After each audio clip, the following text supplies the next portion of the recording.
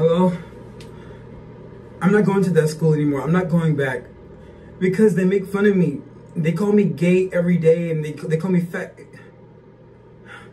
They call... Can we just switch schools? I'm t- I don't care. I I'm, I'm just tired of being I'm just tired of feeling like I'm not I'm not accepted by anybody or anyone. I just I'm tired of feeling like I have to fit in. Mom, I can't do this anymore. I my will you just listen to me? I this is why I want to kill nothing. Whatever, whatever. Okay, bye, whatever. I never felt like I fit in with anybody or anything. But maybe I'm not meant to fit in. Maybe you aren't either.